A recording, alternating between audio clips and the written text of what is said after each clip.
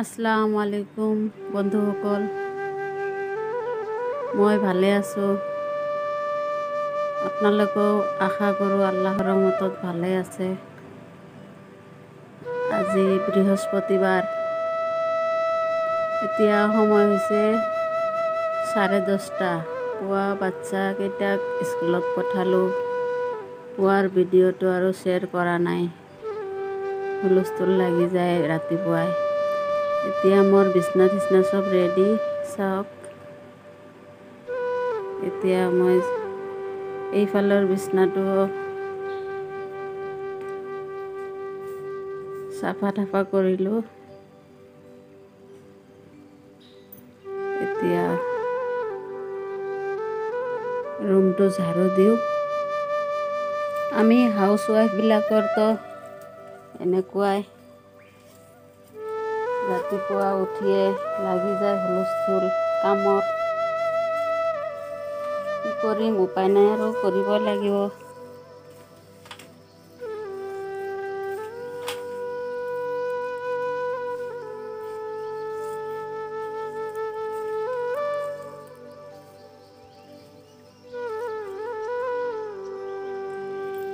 এটা কথা বাহিৰত কাম কৰাতকৈ বাহিৰত কাম কৰাতকৈ ঘৰৰ কামে ভাল। বাহিৰত ইমান ৰ'দত কাম কৰিলেও আৰু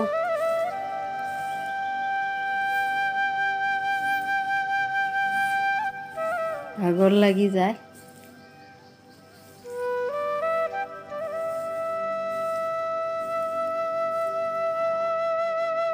চাওক বাচনো কিমান জমা হৈ আছে।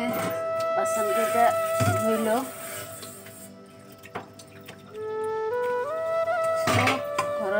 ওলাই যোৱাৰ পিছত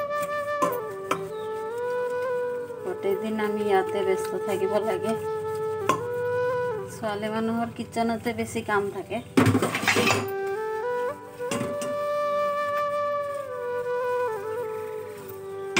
অকলে চুপচাপ কাম কৰি থাকিলে আমনি লাগে। এতিয়া মই ভিডিঅ' বনাই বনাই কাম কৰি অলপ ভাল লাগে।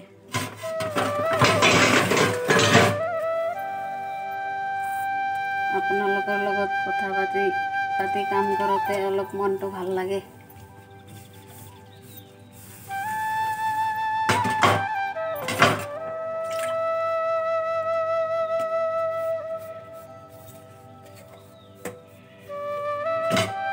এনেকৈয়ে ব্যস্ততাৰ মাজত আমাৰ জীৱন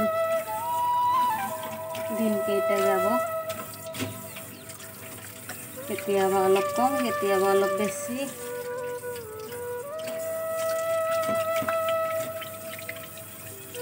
বাচন চাচন ধুই। আজি আৰু নতুন কিবা এটা ৰেচিপি শ্বেয়াৰ কৰিম আপোনালোকৰ লগত।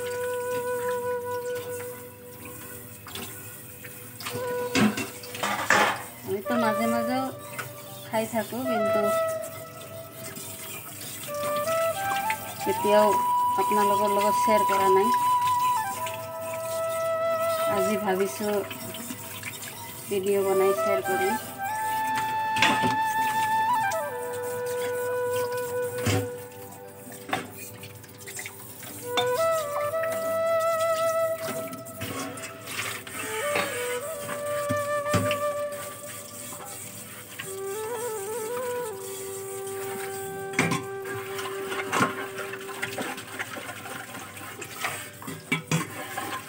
মোৰ বেচিনটো একেবাৰে চেপাত অলপ কাম কৰাত অসুবিধাই হয়।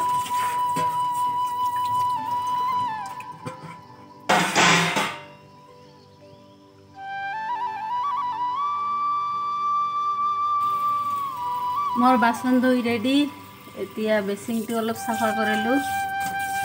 যেতিয়াই বাচন ধুব লাগে তেতিয়াই বেচিন চাফা কৰিব লাগে নহ'লে লেতেৰা হৈ যায়।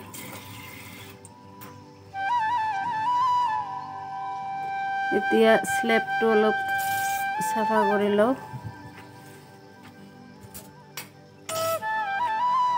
বগা কালাৰৰ টাইলছ ইমান লেতেৰা হয় আৰু নক'ব।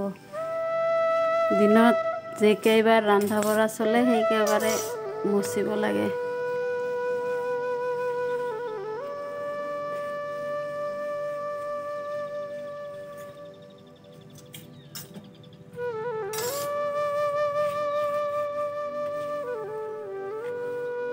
এয়া চোলাটো অলপ মুচি দিওঁ চোল- চোলাও এনেকুৱাই যিকেইবাৰ খোৱা বনাম সেইকেইবাৰে মুচিব লাগে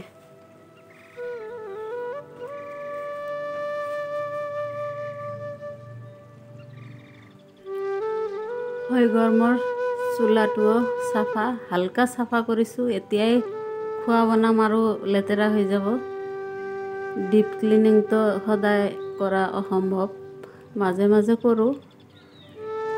ডেইলি ৰেগুলাৰ মচিলে আৰু ইমান লেতেৰাও নহয়। আহিলোঁ ল'ৰাৰ ৰুমলৈ চাওক। ল'ৰাৰ ৰুমৰ অৱস্থা। ইয়াক যিমানে ঠিক কৰি দিয়ক ই ডেইলি এনেকাই ৰাখিব। এতিয়া ৰুমৰ পৰা ওলাই গ'ল এতিয়াহে মই ৰুম চাফা কৰিম।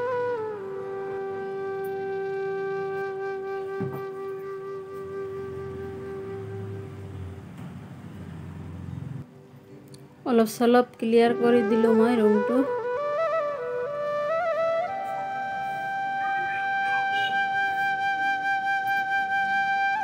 সেয়া এইটো কিবা এই জিম চিম কৰে। কিবা কিবি খায়, এইটো আৰু প্ৰটিন পাউডাৰ হয়। আজিৰ ৰেচিপি মোৰ এয়া। কচু ঠাৰিৰে বনাম, নতুন এটা ৰেচিপি আপোনালোকে যদিও খাইছে কিন্তু এনেকৈ খোৱা নাই চাগে। মোৰ ৰেচিপিটো চাব। ভাল লাগিলে লাইক ছাবস্ক্ৰাইব কৰি দিব আৰু মোৰ ভিডিঅ'বোৰ। যিবিলাকে কৰিছে মোৰ মনৰ পৰা অশেষ ধন্যবাদ সিহঁতক।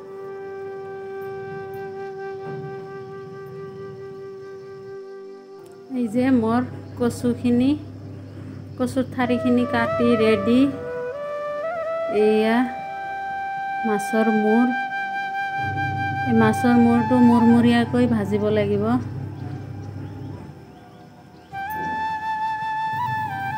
কেৰাহীটো গৰম হৈ গৈছে তেলখিনি দি দিলোঁ। এতিয়া মাছৰ মূৰটো দি দিম।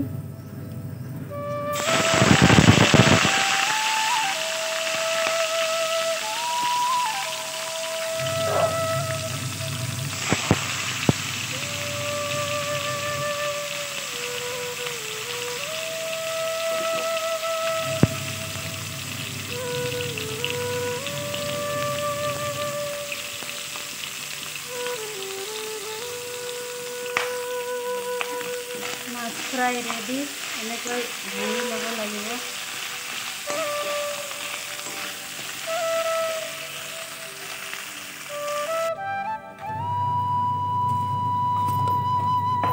তেল গৰম হৈছে জিৰা দিম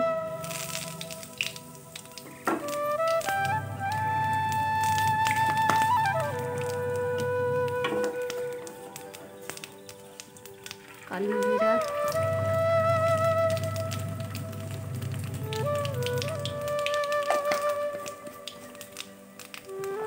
কমন দিবই লাগিব।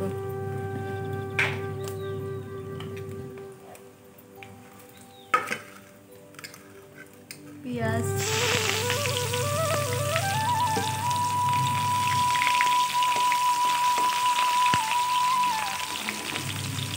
পিঁয়াজ বেছি দিব লাগে, মোৰ নাই অলপ আছে।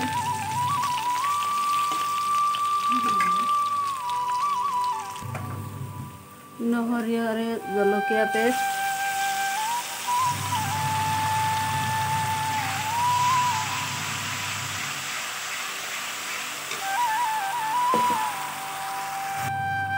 Hindi mo?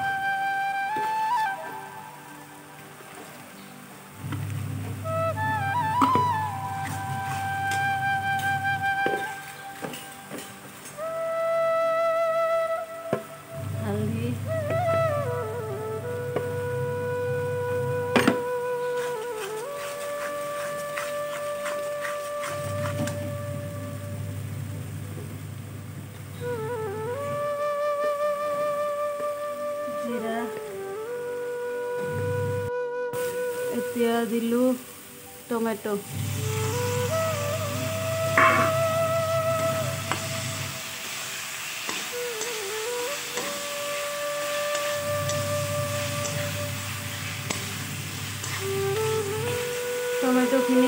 কাৰণে অলপ পানী দি দিওঁ কচুৰ ঠাৰিটো কম বেছি চবেই বনাই খায় কিন্তু মোৰ নিচিনা এনেকৈ বনাই এদিন খাবচোন বহুত টেষ্ট হয়। মোৰ মছলাটো ৰেডি এতিয়া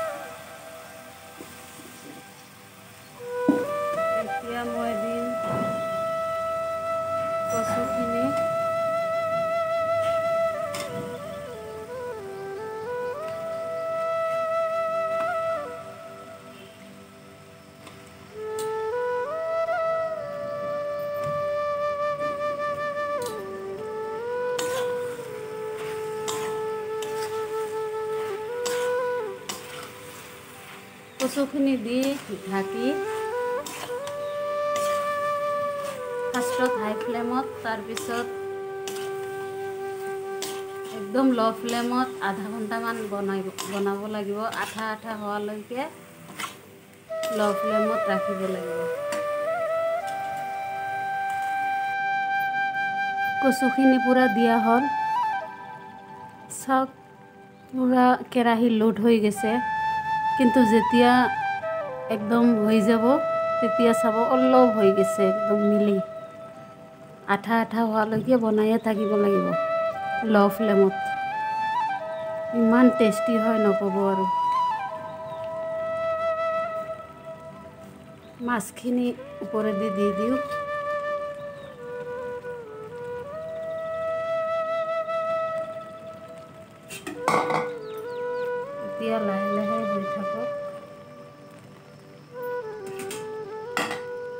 ঢাকনাখিনি দি দিওঁ